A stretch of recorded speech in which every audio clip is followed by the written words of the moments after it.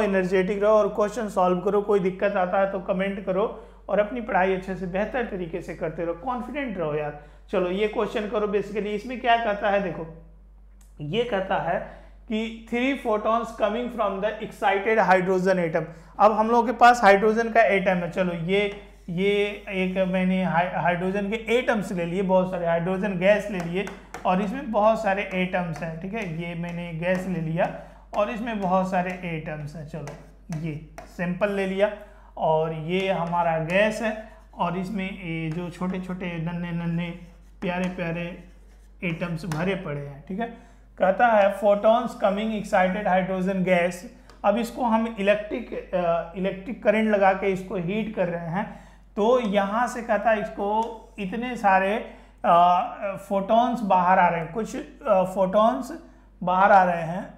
और वो तीन फोटॉन्स यहाँ से बाहर आए। अगर मैं इसको एनर्जी सप्लाई करता हूँ, यहाँ से मैंने एनर्जी सप्लाई किया हीट किया तो यहाँ से तीन फोटॉन्स बाहर आए। चलो तो एक फोटॉन्स की एनर्जी कितनी है? 12.1 इलेक्ट्रॉन वोल्ट दूसरे वाले की कितनी है? 10.2 इलेक्ट्रॉन वोल्ट और तीसरे वाले की कितनी है? 1.9 इलेक्ट्रॉन वोल्ट ये तीन स्पेशल फोटॉन्स आए। मतलब तीन रेडिएशन आई, तीन वेवलेंथ आया, तीन फ्रीक्वेंसी आई। अदर वर्ड में बोल सकते हो भाई गैस है, जब उसको इलेक्ट्रिक हीट किए तो उसे फोटॉन्स निकलते हैं रेडिएशंस निकलती है। खास रेडिएशन निकलती है स्पेशल रेडिएशन निकलती है, सभी रेडिएशन नहीं निकलती है। तो यहाँ से तीन तीन स्पेशल रेडिएशन निकल गई, या तीन फ्रीक्वेंसी निकल गई, तीन वेवलेंथ निकल गई, ऐसे आप बोल सकते हो, या तीन फोटोन निकल गए, सबका मीनिंग एक है। कहता है the photons must come from अब जो फोटॉन्स बाहर आ रहे हैं वो कितने एटम से बाहर आए? भाई यहाँ तो 20, 25, 30, 40 बहुत सारे एटम्स थे। ठीक है हंड्रेड एक हज़ार एटम थे। ऐसे मान लो तो उसमें से कितने एटम्स की पॉसिबिलिटी है कि ये फोटॉन्स कितने एटम से आ रहे हैं ये हमें बताना है। ठीक है चलो बहुत बेहतर क्वेश्चन है और कंसेप्चुअल कंसेप्चुअल क्वेश्चन है। इसके लिए हमें समझना पड़ेगा एनर्जी लेवल और एनर्जी हाइड्रोजन की एंथ आर्बिट में तो हाइड्रोजन या हाइड्रोजन लाइक के लिए एनर्जी जो होती है एंथ आर्बिट में, वो होती है minus thirteen point six n square Z square electron volt ये होती है एनर्जी ठीक है? तो अगर n is equal to one में एनर्जी देखोगे तो वैसे तो सबको याद होना चाहिए यार, n is equal to one में एनर्जी कितनी हो जाएगी? Minus thirteen point six electron volt n is equal to two में एनर्जी कितनी हो जाएगी? N is equal to two में एनर्जी हो जाएगी E two is equal to minus three point four electron volt और n is equal to three में energy जो हो जाएगी, यहाँ से E n is equal to minus ये नाइन नाइन से डिवाइड कर दो minus one point five electron volt तो ये जो है, वो तीन इससे ज़्यादा भी आप निकाल सकते हो, ठीक है? तो यहाँ से यहाँ से तीन आर्बिट की, तीन सेल की मैंने एनर्जी निकाल लिया। अब हम सबको पता है, पहले से कि फोटोन ये ये एनर्जी लेवल होते हैं, ठीक है, इस टाइप से। तो n is equal to one और n is equal to two n is equal to three n is equal to four ठीक है? ये वन पॉइंट फाइव है और n equal four zero point eight five आता है। तो ये जो फ़र्स्ट ये फ़र्स्ट फोर्थ है, और एनर्जी लेवल कम होती चली जाती है यार। ये क्या है? Minus thirteen point minus thirteen point six electron volt minus one minus three point five ये आप याद कर लो। Minus three point four electron volt, minus one point five electron volt, minus zero point eight five electron volt. इतनी बार use होगा, इतना बार use होगा तो ये आपको याद हो जाएगा यार, इसको, इस चैप्टर में। मतलब ये गेम मतलब मेन है यार ये, हर क्वेश्चन में लगभग यूज़ होता है। तो चलो, अगर तीन फोटोन आ रहे हैं तो ये कि फोटोन अब आते कैसे हैं? फोटोन बाहर कैसे आते हैं भाई? हाइड्रोजन कैसे? जब इलेक्ट्रॉन एक्साइट होकर डी एक्साइट होगा, तभी तो फोटोन बाहर आते होंगे। तो यहाँ से इलेक्ट्रॉन पहले कहाँ था? चलो ग्राउंड स्टेट में था इलेक्ट्रॉन अब इलेक्ट्रॉन एक्साइट होके एक एटम की बात करो, एक एटम की एटम वन की बात करो एटम फ़र्स्ट एटम की बात करो तो एक एटम में इलेक्ट्रॉन ग्राउंड स्टेट में था और वो एक्साइट होके ऊपर गया होगा तो नीचे आया होगा तो रेडिएशन से या फोटोन या वेवलेंथ बाहर आए होंगे।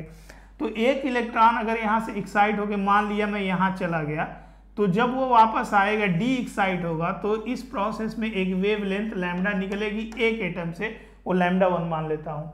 तो क्या अब ये देखो अब जो ये आ, ये यहाँ से जब डी एक्साइट होके वापस आया तो ये जो लैमडा है दैट इज़ ये स्पेशल लैमडा यूनिक लैमडा है और उसकी वैल्यू हम कैलकुलेट भी कर लेते हैं और वो तभी पॉसिबल है ये लैमडा तभी पॉसिबल है जब इनके बीच एनर्जी डिफरेंस जो होगी वो देख लेते हैं कितना है। तो चलो, इनके बीच जो एनर्जी का डिफरेंस है, इनके बीच एनर्जी का डिफरेंस तो delta E is equal to वो आ जाएगा।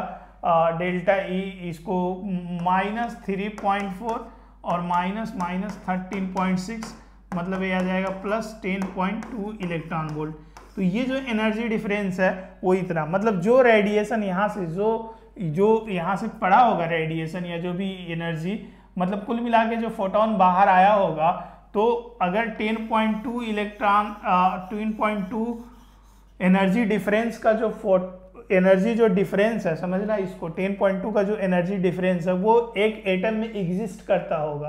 तो एक एटम में एग्जिस्ट करता होगा तो इसका जो लैमडा एक एक रेडिएशन तो आया ही होगा। मतलब एक एटम में ऐसा पॉसिबल है। फिर से समझो। तो energy difference delta is equal to H C upon lambda होता है। तो ये जो है एक फिक्स वैल्यू आ गई एनर्जी डिफरेंस 10.2 तो यहाँ से एक फिक्स वैल्यू आ गई तो एक लैमडा तो पॉसिबल आ गया ना भाई? एक लैमडा पॉसिबल तो यहाँ से आ ही गया। तो एक लैमडा अगर यहाँ से पॉसिबल आ गया तो वो एक रेडिएशन हो गया मतलब 10.2 मतलब इलेक्ट्रॉन एक एटम में आ, तो यहाँ से ग्राउंड से गया था वापस आ गया मतलब एक एटम तो पॉसिबल है। चलो दूसरे एटम की बात करते हैं। क्या दू, दूसरे एटम में आ, चलो अगर दूसरे एटम में बात करोगे तो delta E two energy difference देखो। तो दूसरे में अगर एनर्जी डिफरेंस यहाँ देखोगे तो ये इस इसमें अगर इसमें दूसरे एटम की बात कर रहा हूँ मतलब एक एटम तो पॉसिबल एक एटम में एक एटम में ग्राउंड में एक ही इलेक्ट्रॉन जाके वापस आ गया तो एक तो पॉसिबल है।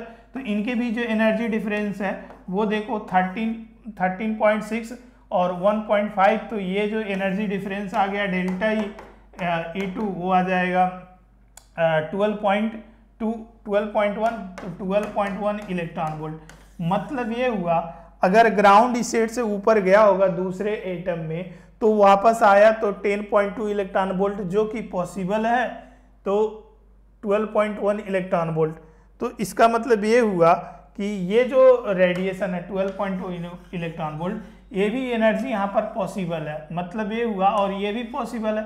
तो ये और ये। इसका मतलब ये हुआ कि ऐसा दो एटम में हो रहा होगा। मतलब अब जो ऑप्शन अगर देखोगे तो दो एटम तो होंगे ही होंगे। अब ये 1.9 पॉसिबल है या नहीं, वो बाद में देखेंगे।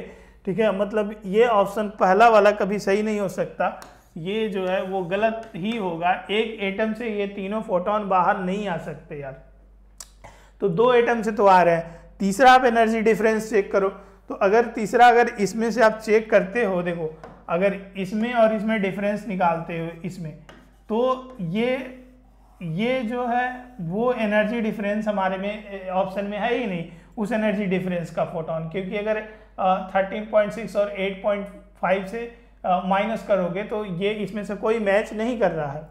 इसमें से, इस एनर्जी लेवल में से कोई मैच नहीं कर रहा। लेकिन अगर मैं यहाँ से एक इसमें से माइनस करता हूँ देखो आ, ये यहाँ से यहाँ से इन दोनों का एनर्जी का डिफरेंस निकालता हूँ ये वाला इस बे एनर्जी मतलब इलेक्ट्रॉन यहाँ से अगर यहाँ गया होगा इस साइड होके तो वो डी साइड होके पहले अगर यहाँ आया तो ये जो एनर्जी डिफरेंस है वो देखो 3.4 में एट वन पॉइंट माइनस कर दो 1.9 इलेक्ट्रॉन वोल्ट आ जाता है। इसका मतलब ये हुआ कि अभी ग्राउंड में तो नहीं आया ना यार। तो यहाँ से एक साइड होके जब एन इक्वल टू थ्री में गया है तो वापस यहाँ आया, फिर इसको यहाँ आना है। तो दो एटम तो पहले हो चुके थे तो ये जो प्रोसेस है, हो सकता है कि एक ही एटम में हो रहा होगा, या तो किसी तीसरे एटम में हो रहा होगा, क्योंकि इलेक्ट्रॉन को आना तो ग्राउंड स्टेट में है ना भाई। तो इसका मतलब ये हुआ कि मिनिमम दो एटम पॉसिबल है या और ये प्रोसेस किसी तीसरे एटम में हो रहा तो तीन एटम हो गए। कुल मिला के दो या तीन एटम पॉसिबिलिटी है। पॉसिबिलिटी डिस्कस करना था। तो आइदर टू या थ्री एटम मतलब डी ऑप्शन